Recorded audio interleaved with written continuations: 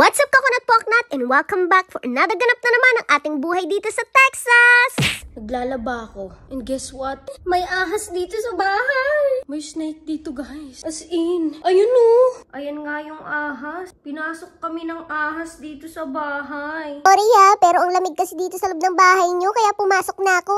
So guys, tinawagan ko na ang David. Ang Zivo. Tinawagan ko si David guys. Kasi sinabi ko sa kanya. Ano, may ahas na dito sa bahay. And ayan nga oh, tumitingin dito. Paano kaya to ha? Papatayin. ayan nga yung ahas oh. Hindi ko nga alam kung anong gagawin ko dyan, guys. Pero malaki din siya katulad yung napatay ko dun sa likod ng aming bahay. Ganon, ganon siya kalaki. So ngayon, meron na naman.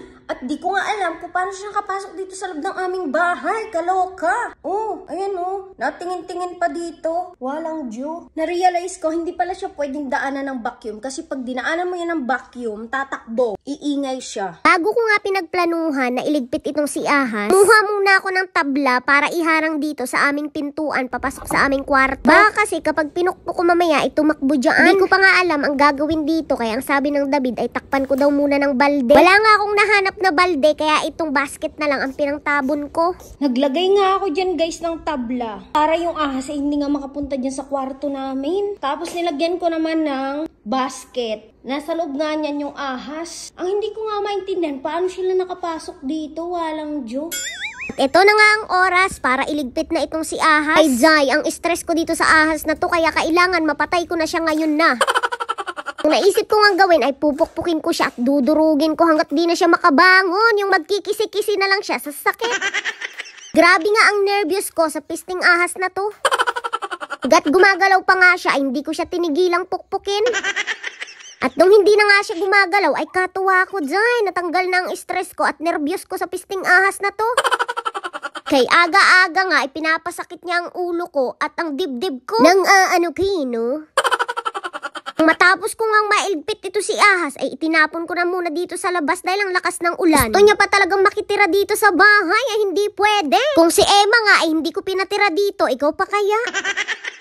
Ano kasi ni swerte de aircon ng tirahan? Walang Giotto, pinakaba ko. Salamat ka, yan lang ang ginawa ko sa'yo. Salamat ka, hindi kita sinunog ng buhay. Kay aga-aga, ikaw pa talaga unang nakita ko. Dahil nga kumalat yung dugo dito ni Ahas, kaya nilinis ko na. Alam nga naman siyang paglinisin ko, di ba? Pinagpatuloy ko na nga yung naudlot kong paglalabada dito. Dahil nga sa pisting ahas na yon ay napalinis nga ako ng buong bahay. Mula nga nung bumalik kami from the camping, eh ngayon nga lang ako nakapagkilos-kilos. Dahil nga sinabayan pa nga ako ng may dalaw. Kaya nga din talaga ako nang gigil sa ahas na yun. Hugas na nga pala muna ako ng pinggan para malinis na dito sa kusina. Kahapon pa nga itong hugasin at ngayon ko nga lang hinugasan. Dahil wala talaga akong ganang kumilos-kilos dito, especially masakit pa ang puson ko. At dahil nga sa pisting ahas na yun, eh nagkaroon ako ng energy pati nga magluto.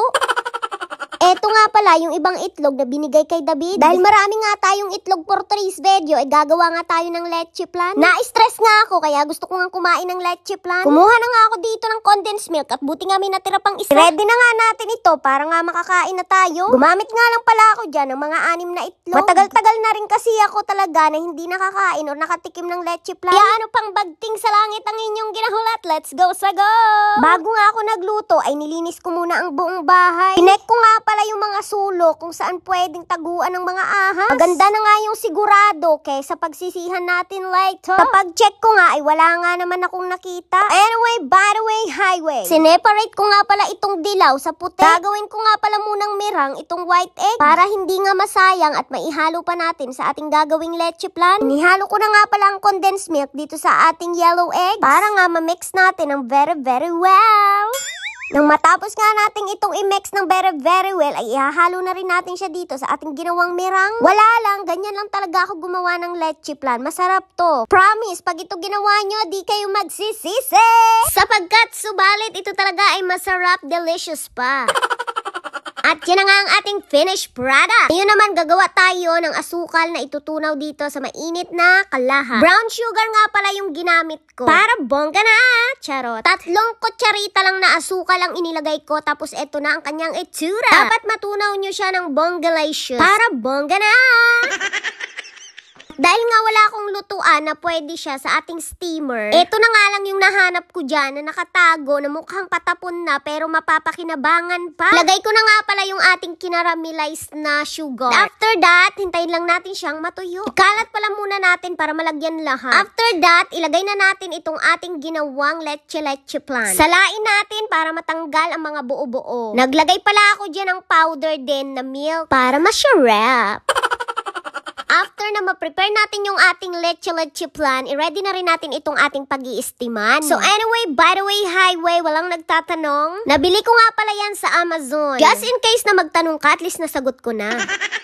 Dahil nga nagutom na ako, kakalinis, kakaluto ng leche plan, eto nga tagprito na ako dito ng bangus. At syempre, kailangan may partner na gulay, kaya nagluto ako dito ng munggus. Dahil nga wala akong kasabay kumain, kaya tinawagan ko si Madam Rio kung nagtrabaho ba siya today. Sabi niya nga, ay wala daw siyang OT today, kaya naman sabi ko ay dumaan siya dito for the lunch. At sakto nga, nakapagluto na ako ng dessert, at syempre, tinikman na naming dalawa. At para nga daw may ambag siya, ay nagdala nga siya nitong watermelon. Tinus nga namin ito, para nga refreshing. Matamis na nga itong watermelon, kaya hindi na nga namin nilagyan ng pampatamis pa. Nang maluto ko na nga itong mga ulam, ay inaya ko ng kumain si Madam Rio. Hindi pa nga ako nag-uumagahan, kaya naman late na rin ang aking tanghalian. Nakita niyo naman yan, ang sarap ng ating ulam, kaya sinandukan na ako ni Madam Rio ng kanin. How sweet naman pala, charot!